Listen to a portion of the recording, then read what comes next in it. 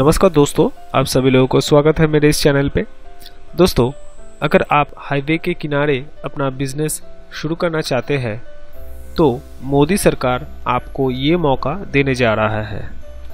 दरअसल, सरकार हाईवे के किनारे वे साइड ओमिनिटीज़ डेवलप करना चाहता है। इसके लिए एन द्वारा जगह जगह हाईवे विलेज बनाए जाएँगे, जहाँ ये ओमिनिटीज़ डेवलप की जाएगी।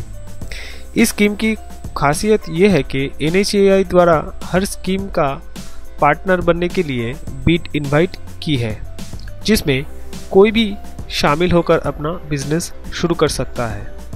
रिपोर्ट्स यही बताते हैं कि हाईवे के किनारे बिज़नेस की बहुत ही संभावनाएँ होती हैं, इसलिए सरकार ने ये मौका दिया है।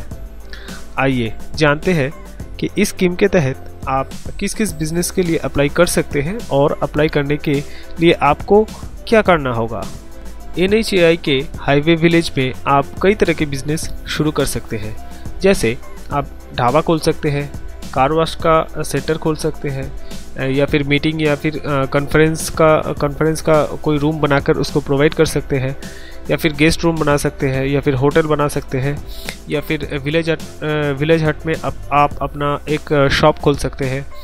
फास्ट फ़ूड का एक शॉप खोल सकते हैं या फिर आप कोई रेस्टोरेंट भी शुरू कर सकते हैं उसमें।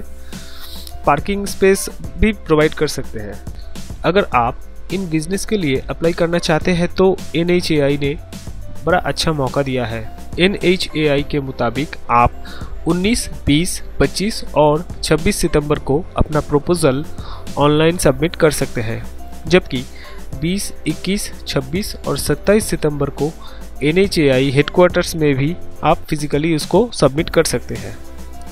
आप www.ngai.org या फिर www.etenders.gov.in पर ऑनलाइन अप्लाई कर सकते हैं।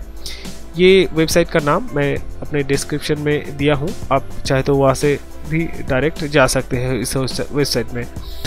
आप एनएचएआई के वेबसाइट पर, साइट्स पर भी सारी जानकारी हासिल कर सकते हैं। आप सोच रहे होंगे कि आप ये बिज़नेस तो करना चाहते हैं, लेकिन इसके लिए ज़मीन कहाँ से आएँगे?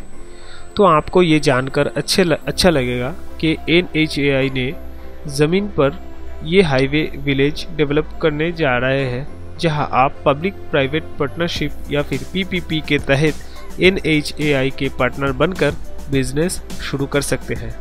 तो दोस्तों, जल्द से जल्द उसको वहाँ पर अप्लाई कीजिए। ये वेबसाइट में जाकर आप जल्द से जल्द उसको अप्लाई कीजिए और ये बहुत बढ़िया मौका अपने हाथ से जाने ना दें। तो आज के लिए दोस्तों, बस इतना ही। थैंक यू दोस्तों। बाय